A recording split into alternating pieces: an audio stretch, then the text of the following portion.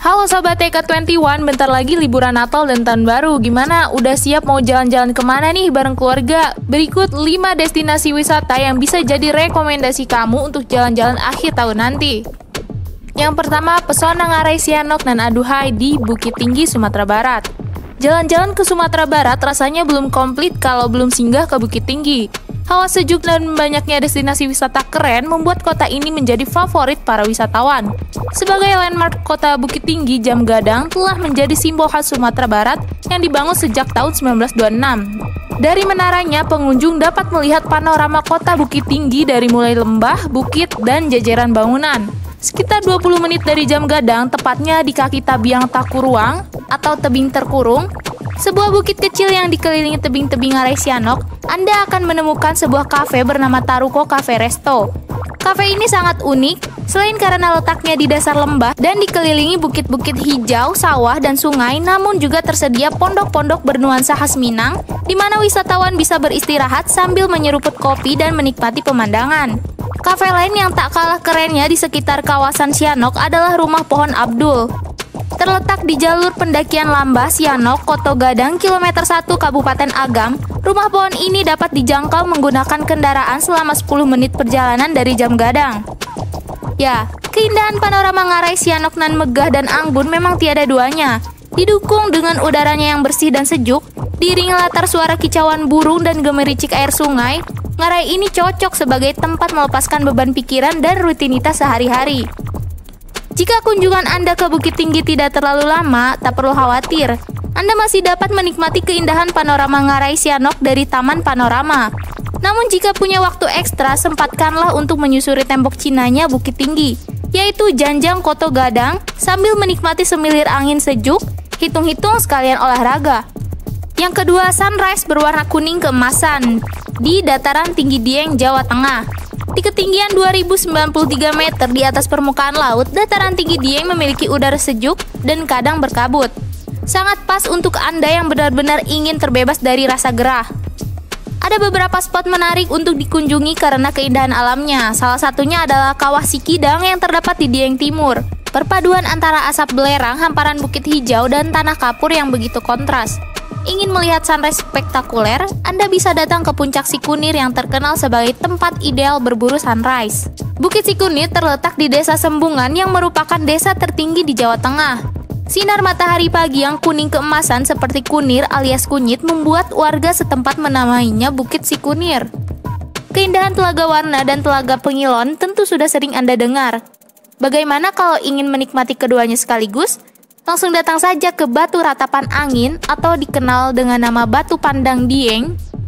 Dari tempat yang cukup tinggi ini, Anda bisa melihat kedua telaga tersebut sekaligus. Selain dari atas batu, panorama dua danau primadona Dieng tersebut juga bisa disaksikan dari atas sebuah jembatan tali yang dinamakan Jembatan Merah Putih. Yang ketiga, bersenang-senang di perkebunan teh Malino Highlands di Sulawesi Selatan. Dulunya tempat berjarak dua setengah jam dari kota Makassar ini hanyalah lahan perkebunan teh biasa.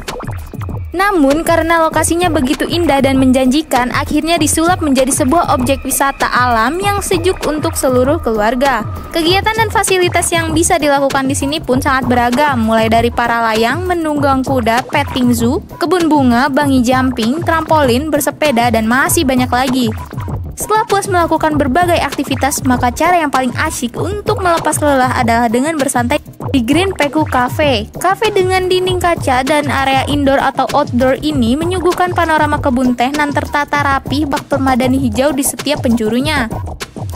Menu andalan cafe yang berada tepat di tengah-tengah kebun teh ini, apalagi kalau bukan Malino Green Tea dari pucuk daun teh segar yang tumbuh di sekitarnya. Secangkir teh panas di tengah udara yang sejuk, ah membayangkannya saja sudah nikmat.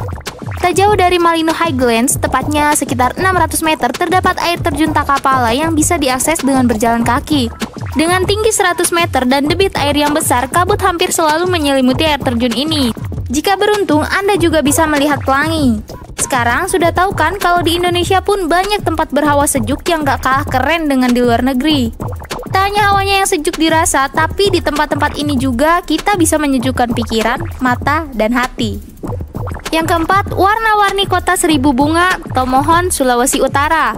Temperatur udara yang berkisar antara 18-20 derajat Celcius menjadikan kota yang diapit oleh Gunung Lokon dan Gunung Mahawu jadi destinasi liburan favorit warga Sulawesi Utara.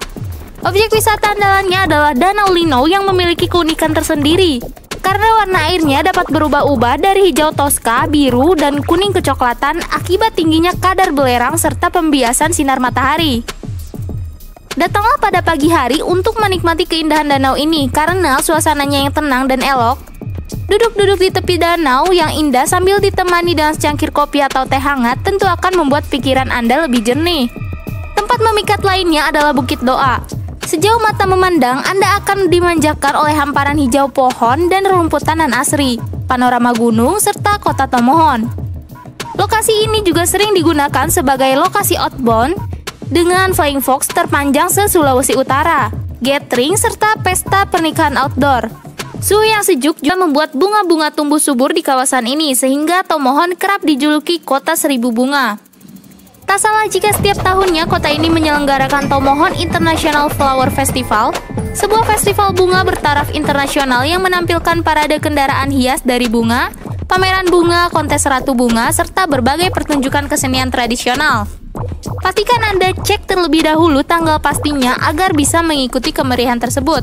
Yang kelima, one stop destination di lereng Gunung Lawu, Tawangmangu, Karanganyar. Dengan jarak tempuh sekitar satu jam dari Solo, Tawangmangu merupakan kawasan pegunungan di lereng Gunung Lawu yang sudah terkenal sejak masa kolonial Belanda. Persis di atas areal perkebunan teh kemuning yang begitu luas dan adem, terdapat Candi Ceto dengan gapura yang sekilas mirip dengan pura lempu yang luhur yang terdapat di Bali. Keberadaan candi yang amat indah ini belum sepopuler air terjun Grojogan Sewu yang juga terdapat di Karanganyar. Untuk menuju ke sini aksesnya sangat menanjak, sehingga disarankan untuk membawa kendaraan yang kondisinya prima. Puas berkunjung ke Candi Ceto, Anda bisa langsung beristirahat menikmati minuman hangat di Balai Beranti, sebuah tempat makan yang dikelilingi kebun teh, tersedia area outdoor yang memungkinkan Anda nongkrong sambil menghirup udara segar pegunungan. Ketawang Mangu belum afdol kalau tidak singgah ke air terjun Grojogan Sewu. Sebetulnya ada beberapa titik air terjun di kawasan wisata ini. Sebetulnya ada beberapa titik air terjun di kawasan wisata ini. Air terjun yang terbesar memiliki tinggi 81 meter dan merupakan air terjun tertinggi di Jawa Tengah. Selain menikmati keindahan air terjun, di sekitar Grojogan Sewu juga terdapat kolam renang dari air pegunungan yang sejuk dan segar, flying fox, serta gazebo untuk bersantai. Nah, yang satu ini khusus untuk penyuka film horor. Namanya Kampung Halloween yang terdapat di Bukit Sekipan. Bisa ditebak, taman rekreasi ini mengangkat tema horor yang menyeramkan, di mana Anda bisa selfie atau nongkrong bersama para hantu. Tenang, bukan hantu sungguhan kok, melainkan patung, tapi tetap saja bikin merinding. Tak cuma hantu, di sini juga tersedia tempat pemancingan, area outbound, taman bermain, dan kolam renang untuk anak-anak. Bagaimana? Berani nggak? Thank you.